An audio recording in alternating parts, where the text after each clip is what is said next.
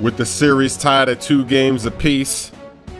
I'm looking to finish this off tomorrow, May 18th at 3 p.m. Eastern Time. The link to my stream will be in the description, so click that tomorrow at 3 p.m. Eastern to see what happens.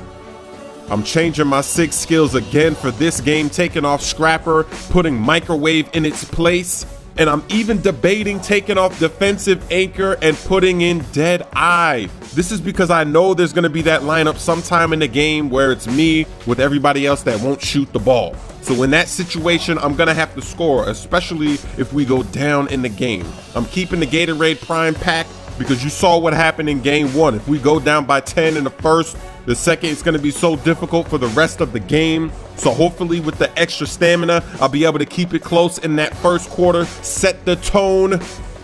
And with Microwave and Dead Eye, I'm hoping I don't have a game like game three where I'm missing wide open threes. Because I figure with Microwave and Dead Eye, if I make two, three shots in a row, I'm on fire, then I'm less likely to miss those wide open shots and we're going to need them. You saw what happened in game four. I had to score 50 something points, get 24 assists, I know it's a risk to go without defensive anchor, but I have a feeling that it's not really doing much for us. I mean, our weaknesses are rebounding. We're also leaving people wide open for threes. So defensive anchor can't stop any of those things. So I figure I might as well take it off and use something else that's going to help me out.